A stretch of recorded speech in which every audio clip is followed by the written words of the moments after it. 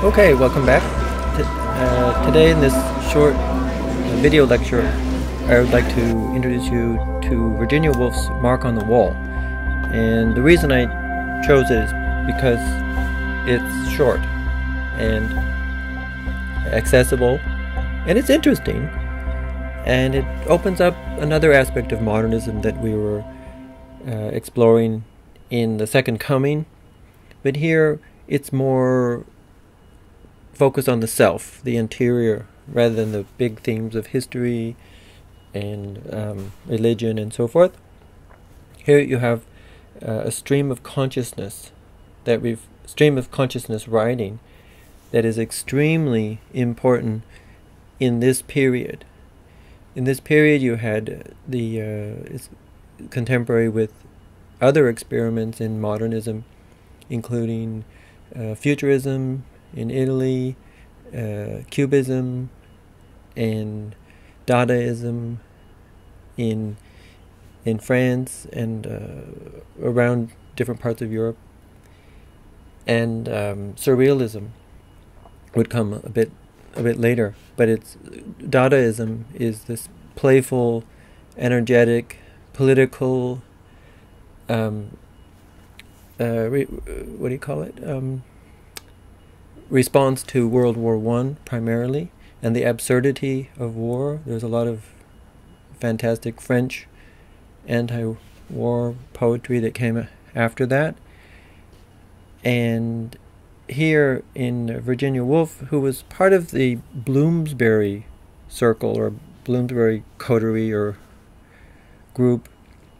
It's a it's a group of uh, middle upper class, extremely well educated uh, people in London uh, from different fields. Um, some were uh, in, into um, more more um, sociology or psychology or, or, or, or, business, economics, some into literature, philosophy, and these kind of things, uh, painting. And the, the group is known for its uh, freedom of thought, including uh, sexual, exploratory sort of uh, thought and, and uh, interaction. So there's a prominence of uh, bisexuality in this that precedes the liberation, the gay liberation movement, and the sexual revolution in the 60s and 70s. Okay, so here, uh, that sort of identity formation was less important than just the doing whatever you wanted to do, and so it could best be described as a pansexuality rather than a focusing on a a binary uh, sexuality. You're either straight or gay, this sort of thing. Okay? So that's interesting about them, and you can read about that, and that led to her writing this long, uh, sort of proto science fiction, fantasy, trans, gender, trans, uh, sexual orientation, a novel called Orlando, about 11 years after she first published this. This is her first published story by the Mark on the Wall, first published in 19. 1917. Uh, and in any case, um, this exemplifies a a, a, a, freeing of thought, not just a freedom of thought, but a, a, freeing of thought. Excuse me. That um, that going back to the Dadaism that uh, pre that uh, dovetails with goes along with what came after Dada, which is similar to Dada, this sort of free wordplay, uh, flagrant um, flaunting of normal diction, word use, riffing on words and punning and so forth, openly political in Dada. In Surrealism, you have a variation, an extension of this that's inspired by Sigmund Freud.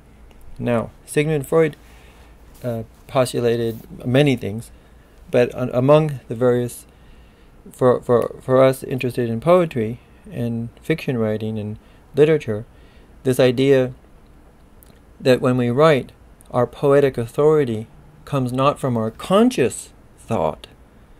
Like like a mathematician, we imagine a mathematician working out a problem, problem solution, problem solution. Compare different solutions, analyze. No, uh, for writing, there needs to be some sort of fiction of a, a subject construct, an authority active.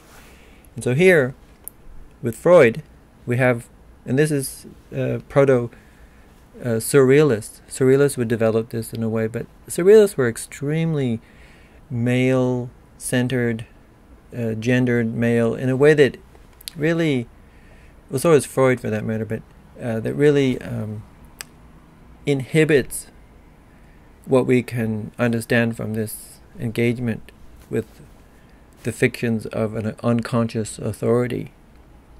And I don't want to go into Freud.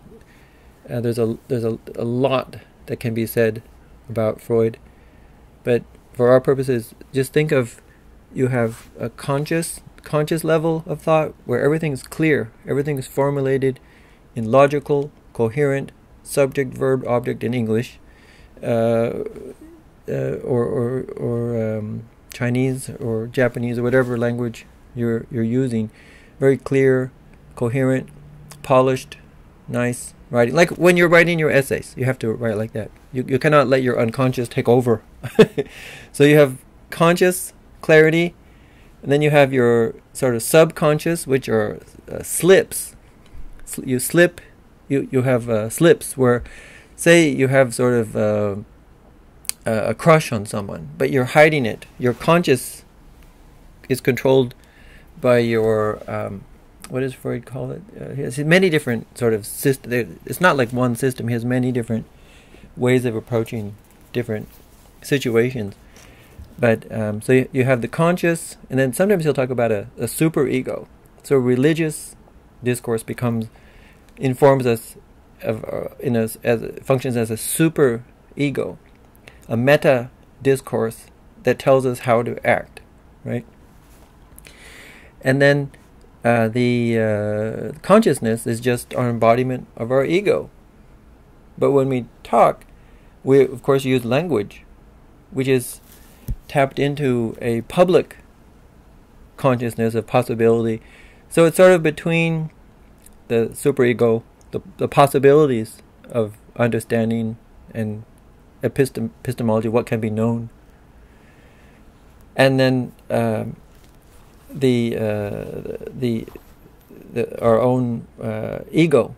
In in our ego, we have our it can be divided into our superego, which is tied into this public religious discourse, what we're taught we're supposed to do.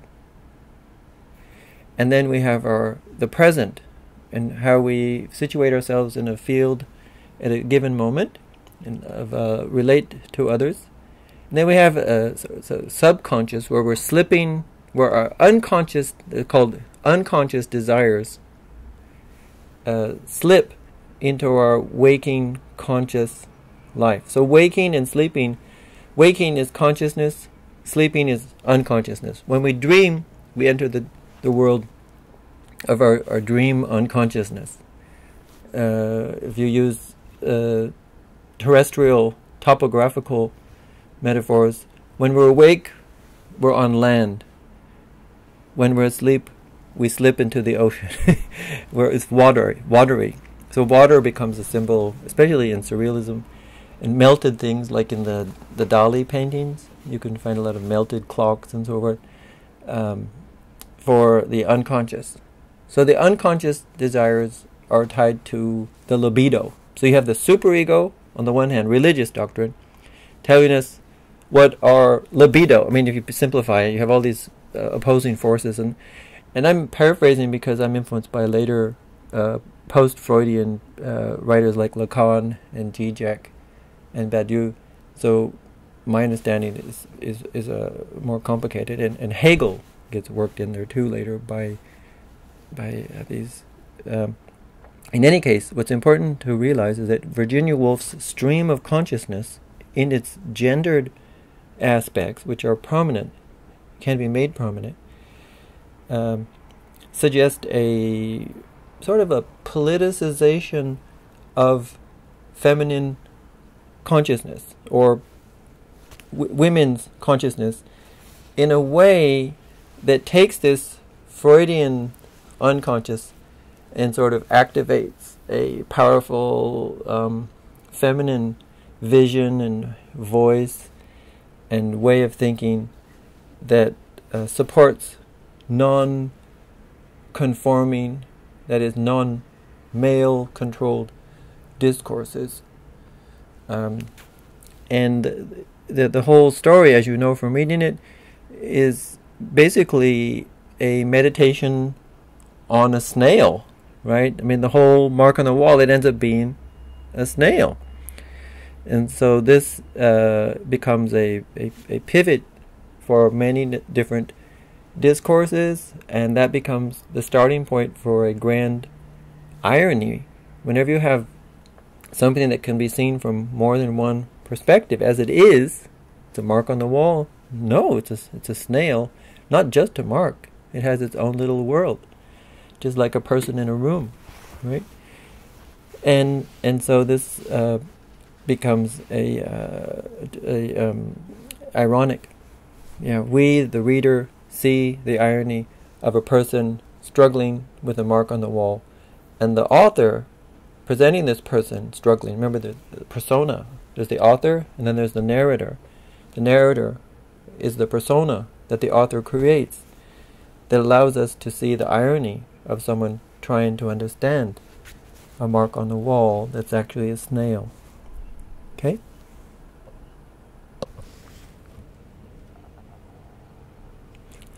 Okay, so let's uh, go through this. Uh, the uh, the mark on the wall. Let's let's begin at the beginning, though we could begin at the end. Just mention the end, the snail.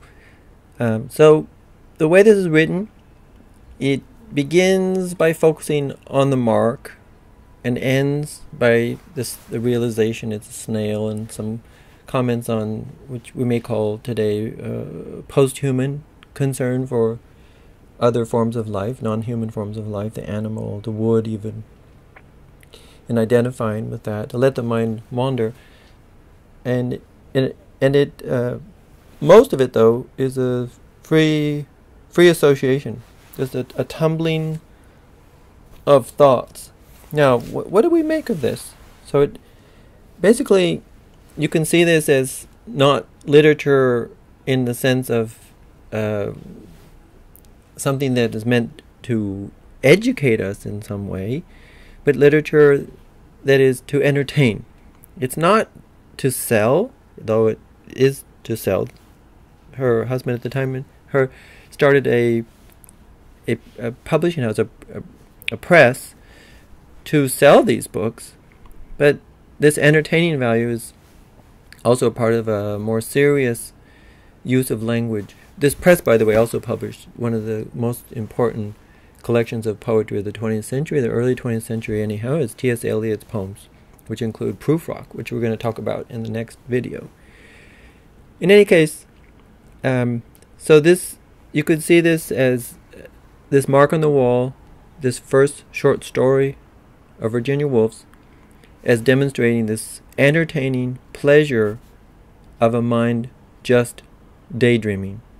It's not about social criticism, it's not anti war, yet it includes a consciousness of uh, social consciousness, uh, a, ju- uh, a consciousness of concern for making the world better, a critical consciousness, you could say um, that that shows an, a caring, expansive mind, as well as a uh, somewhat inward turning, which we associate with uh, what do you call it? Um, free uh, free association, free association, and stream of consciousness. Okay, or it's also called sometimes automatic writing. This kind of writing. And another famous woman uh, who who wrote this way is um, oh God, what's her name? Tender Buttons by um, Gertrude Stein.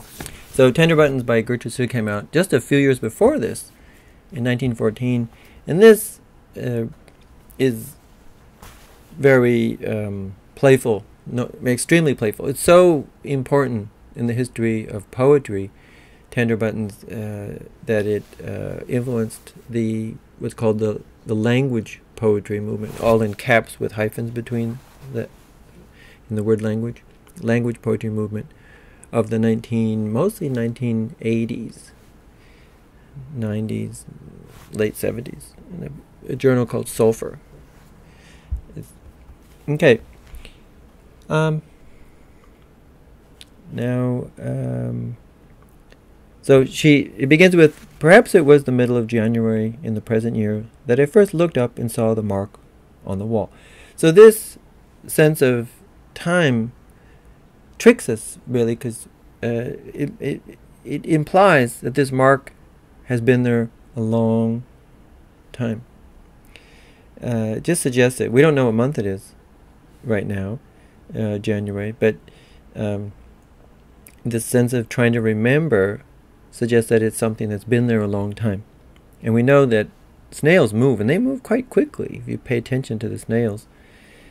And um, any in any case, so there's this play here, this the muse, this muse of the play between consciousness and unconsciousness, this constant slipping, this stream of consciousness that allows this this slipping uh, suggests a play between the the inner the inner what do you call it? The popular term is the the uh, mind's eye, or imaginations, and the the outer, the manifest perceptions of ostensible phenomena that are out there in the exterior world. So you have the interior and the exterior, the mind and the exterior matter.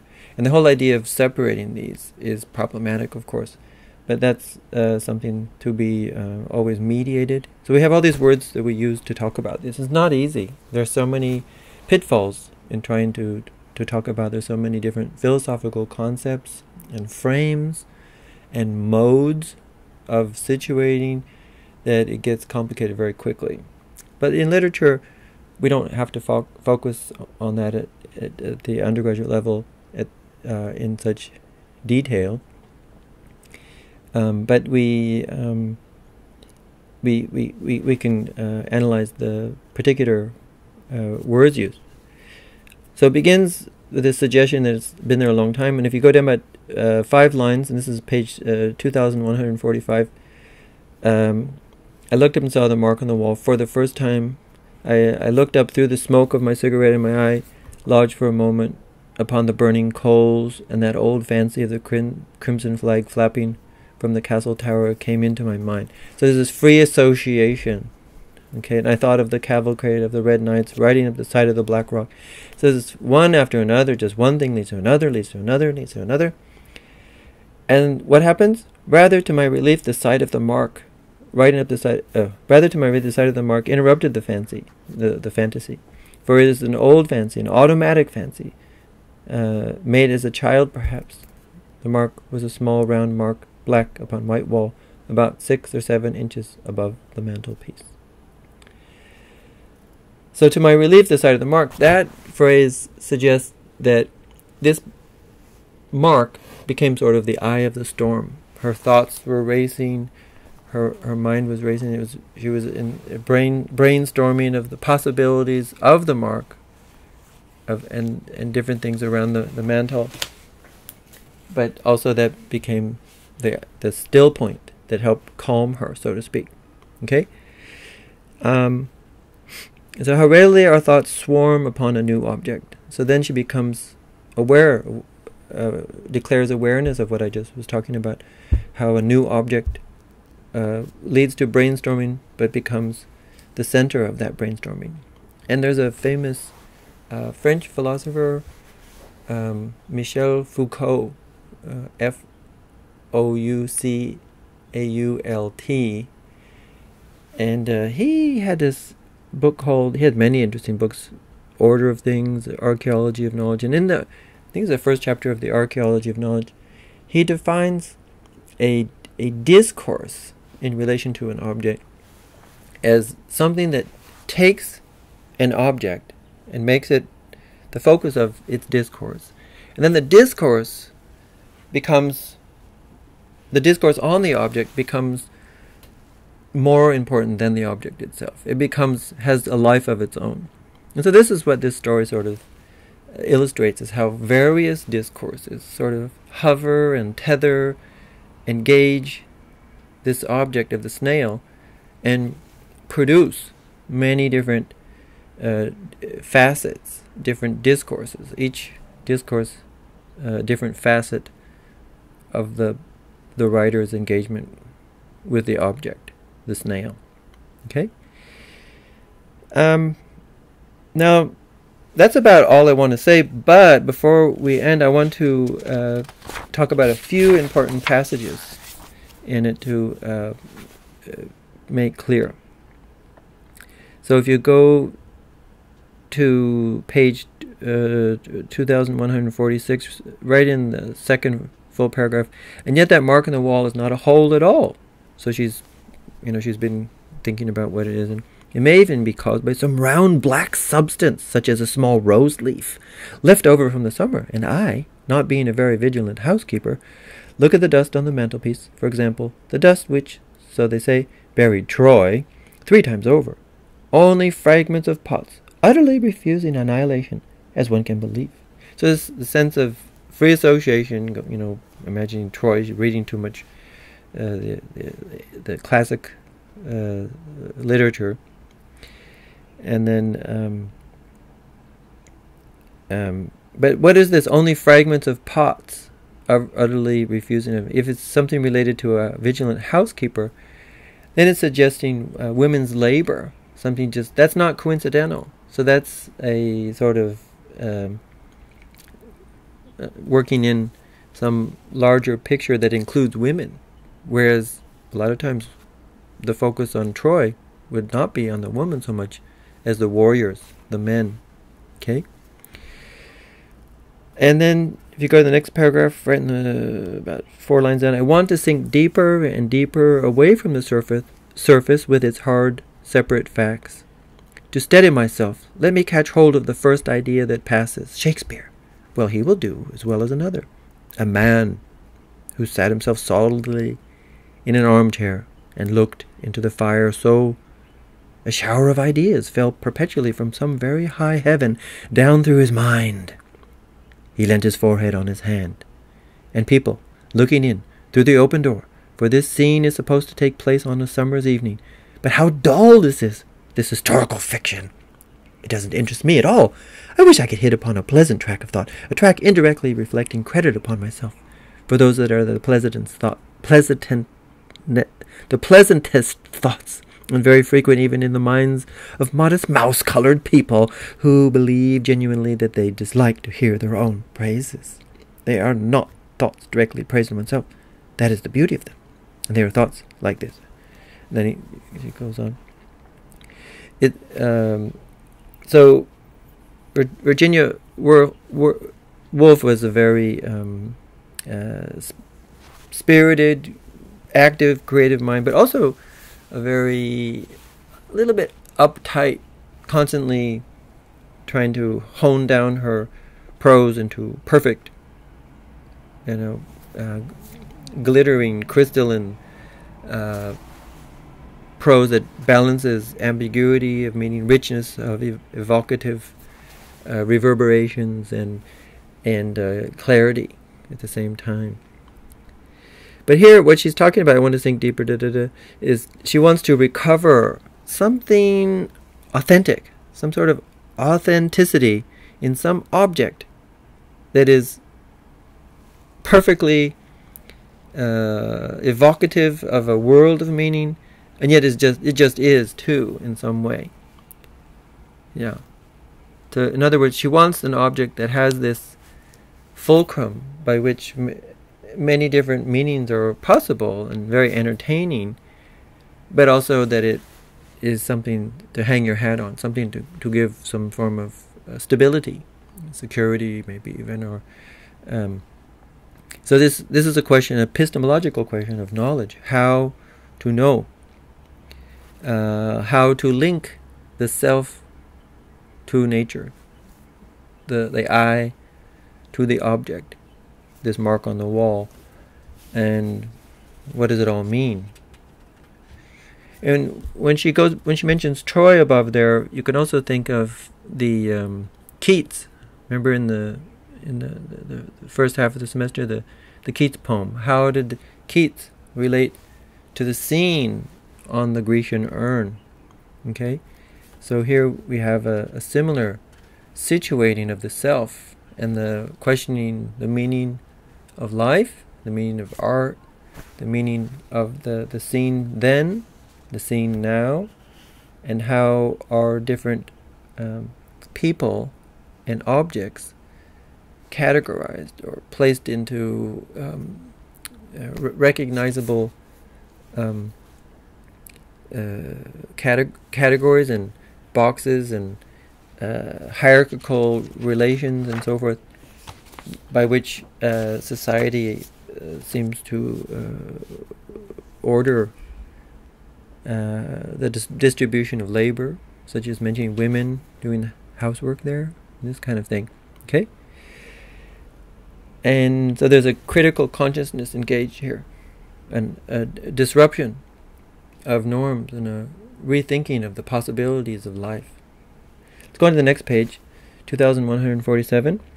Here explores here she explores the fragility of the self, the image of the self itself. She says, uh, uh, or is it uh, so very curious? After all, it is a matter of great importance. Suppose the looking glass smashes, the image disappears, and the romantic figure with the green of forest depths all about it, there is, n- is there no longer, but only that shell of a person which is seen by other people. What an airless, shallow, bald, prominent world it becomes, a world not to be lived in. So what if everything were just something seen by others, uh, surface images, there's nothing, in, nothing, no interiority, no self. As we face each other in omnibuses and underground railways, we are uh, looking into the mirror. It accounts for the vagueness, the gleam of glassiness in our eyes, and the novelist in the future will realize more and more the importance of these reflections. For of course there is not one reflection, but an almost infinite number. Those are the depths they will explore, those the phantoms they will pursue, leaving the description of reality more and more out of their stories, taking a knowledge of it for granted, as the Greeks did, and Shakespeare perhaps. But these generalizations are very worthless. The military sound of the word is enough. It recalls leading articles, cabinet ministers, a whole class of things indeed, which, as a child, one thought the thing itself, the standing thing, the standard thing, the real thing from which one could not depart, save at the risk of nameless damnation. Generalizations bring back somehow Sunday in London, Sunday afternoon walk, Sunday luncheons, and all, and also ways of speaking of the dead, clothes, and habits. Like the habit of sitting all together in one room until a certain hour, although nobody liked it. There was a rule for everything, and the rule for tablecloths at the particular period that they should be made of tapestry, little yellow compartments marked upon them and so forth and so on. So it's all about how everything is supposed to be such and such. Everything has a place.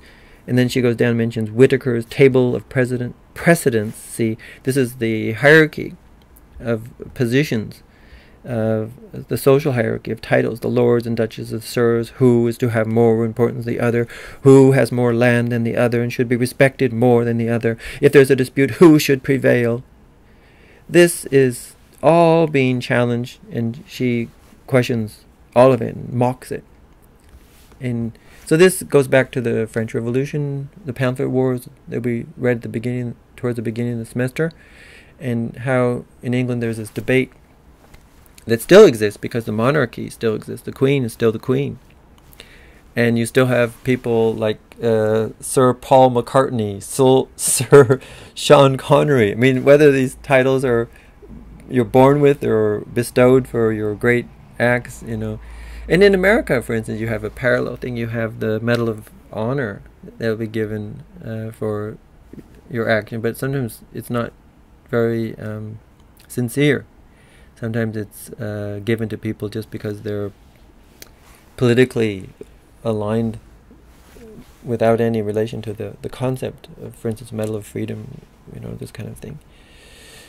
Anyway, um, so this this pun on general in generalizations. The, the I want to make sure you caught that. She says the military sound of the word is not the general in generalization.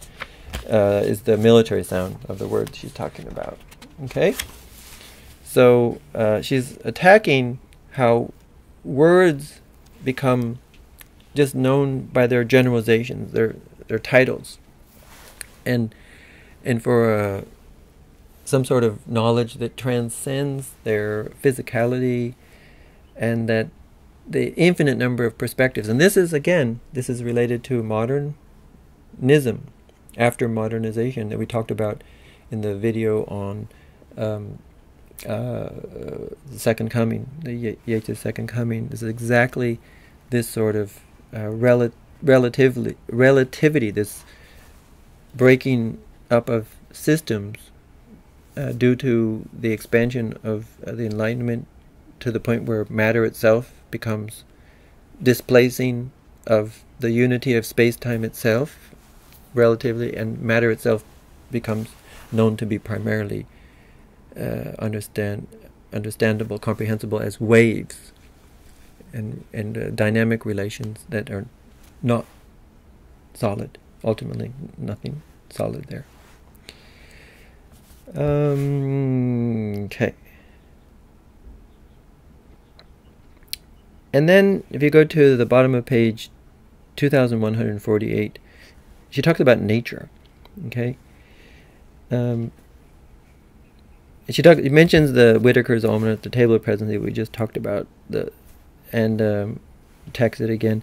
But then she has this final paragraph there. Here is nature, once more at her old game of self preservation. This train of thought, she perceives, is threatening mere waste of energy, even some collision with reality. For who will ever be able to lift a finger against Whitaker's table of precedency? Pre- precedency. So this idea is that it's a there's a there's a, a stream of consciousness here, right? But this, she's not talking about stream of consciousness. She's talking about um, this uh, train of thought. This train of thought is this train of logical thought, this table of precedency. Who should precede who? And then she gives examples. The Archbishop of Canterbury is followed by the Lord High Chancellor. The Lord High Chancellor is followed by the Archbishop of York. Everybody follows somebody, such is the philosophy of Whitaker. And the great thing is to know who follows whom. And so sh- this is parallel to the earlier comments about everything having its place. When you set the table, you have to have your knife and fork in the proper manner. There must be a tablecloth that has a design that includes a certain level of embroidery acceptable to the common people at least.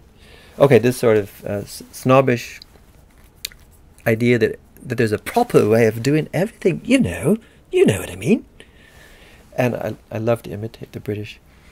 They get really mad at me though sometimes. Uh, I had a really good friend from Manchester, and uh, and uh, this is a long time ago, and I would I would imitate his Manchester accent, which is not too far away from where the Beatles grew up. You know, in Liverpool, quite charming lads they are, and. Um, and then he would imitate my American accent, how he heard it in his head. It, it was hilarious. Oh, I'm getting sidetracked here. But he his American his imitation of American accent went something like this. Well, you Americans like to talk like this, but really a lot of time, really like to have potatoes in your mouth or something. So I was I thought that was just darling, just precious, just absolutely stunning. Okay, and there's actually a vocabulary between the two languages that are quite different. Um, so Whitaker knows, and and uh, let that. So nature counsels comfort you instead of enraging you. And if you can't be comforted, if you must shatter this hour of peace, think of the mark on the wall. So here, what's interesting here is this this discrepancy between language that is exemplified by this table of precedence, which is the ultimate placement of things within an altar of generalization. So this is not Rousseau's encyclopedia, where you're you're trying to gather knowledge on everything.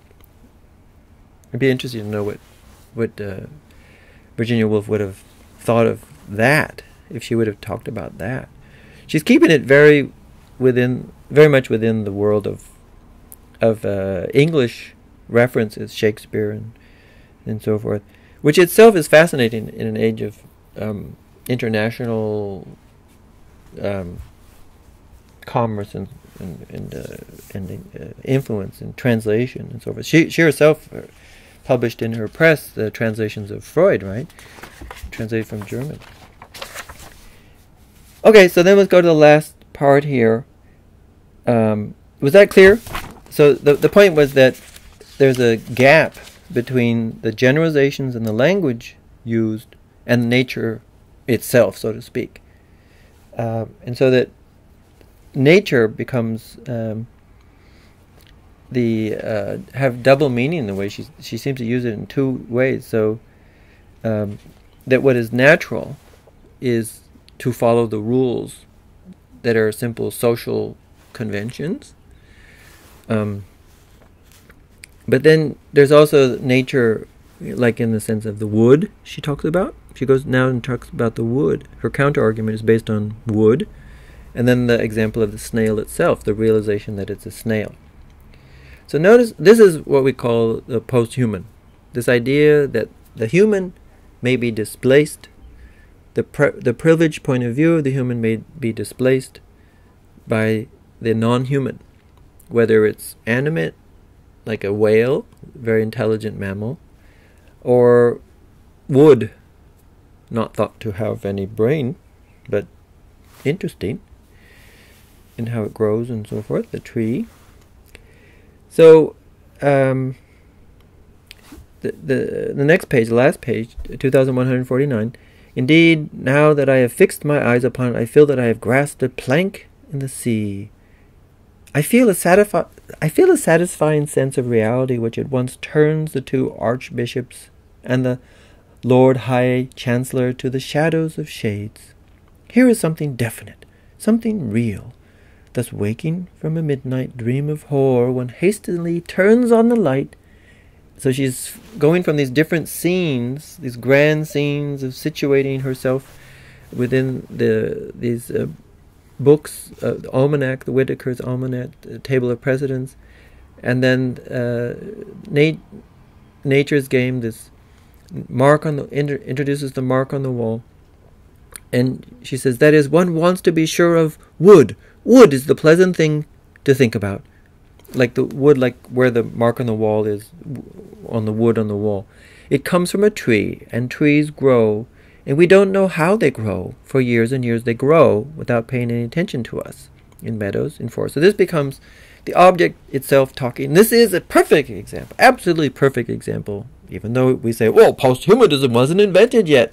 Haha, doesn't matter we still have this manifestation of something we now can name in earlier literature, which is the point of view of wood.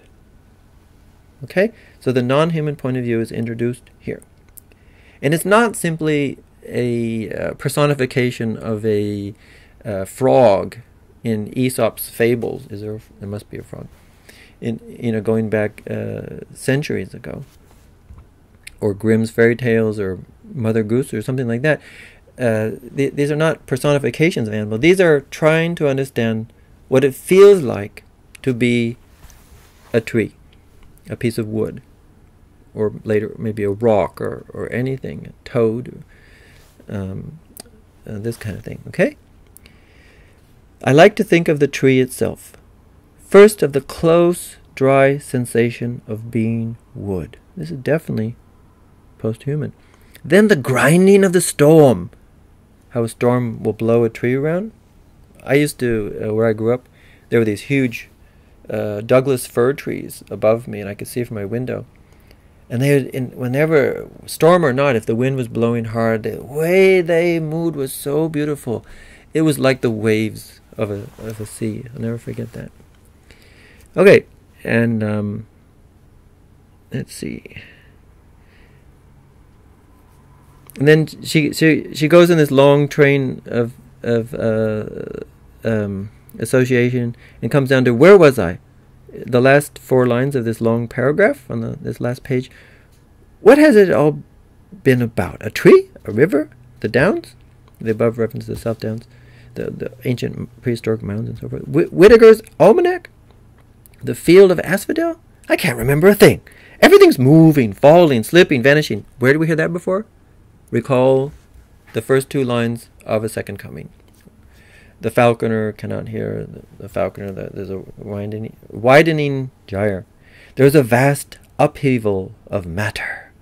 Someone is standing over me and saying, I'm going out to buy a newspaper. Yes. Though it's no good buying newspapers, nothing ever happens. Curse this war! God damn this war! All the same, I don't see why we should not have snail on a wall. Ah! The mark on the wall! It was a snail! So it's a humorous closing. But notice how it ends with the sort of uh, dialogue that you sort of expect in a T.S. Eliot poem. You have this banter between people, just everyday conversation, just thrown into the literary work. But here it's used to casually mention, without the author herself just saying, Oh, I looked up again and I noticed, indeed, it's a snail! That would be so boring. So she has another character she drags into the story, and this character, goes, I'm going out to buy a newspaper, her husband or some sort of imagined figure. Yes? Well, you have a nice time, dear darling. And then th- adds this uh, other talk about, and uh, goddamn this war and so forth. Um, that adds a, a, just in a passing way, sort of a political protest against having wars, um, elective wars, especially not wars fo- foisted upon you, and then um, this kind of thing. Okay, so um, that's it. I hope you enjoyed it. I think she's amazing, and if you like her, you can read her other stories, uh, Miss Dalloway and um, uh, what's the other one? The Orlando. Okay. See you soon.